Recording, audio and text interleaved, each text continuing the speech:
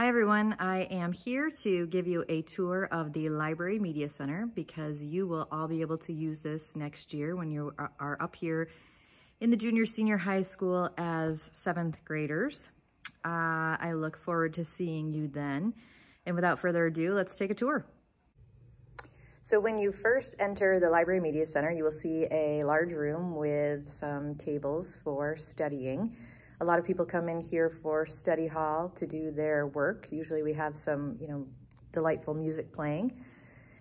If you go a little further, you will see that we have a display of new books. This is where all our newest books are housed.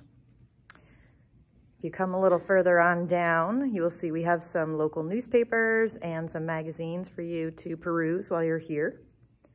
Usually we have a, a holiday or seasonal display here. This one happens to be Bury Your Head in a Good Book. And we have some white books because they're supposed to represent the snow that the penguins are sticking their heads into. Down here we have another display. This one happens to be for March Women's History Month celebration. So we have some, you know, special women on display and books about, you know, famous women. we have an area over here where you can study.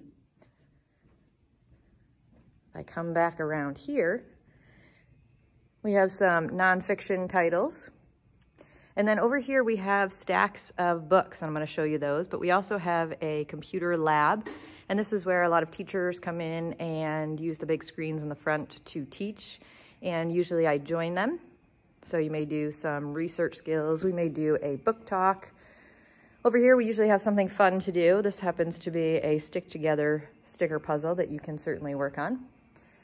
We have some audio books. Those are on CD or Playaway, but we also have access to the Sora app, which allows you to download to your phone or, you know, smart device any ebooks and audiobooks that are in the library, in the Sora library.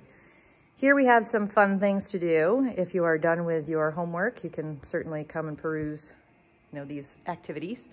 Whole bunch of puzzles. The reference section. Here's some of our computers. And now I'm gonna go over and just briefly show you that we have a whole lot of fiction. Fiction is, you know, by author's last name. Under the windows, we have some nonfiction. And then I wanna show you this section over here which happens to be graphic novels. We have a good number of graphic novels that you can borrow as well. So I hope you enjoy, enjoyed this brief tour and I look forward to seeing you in September.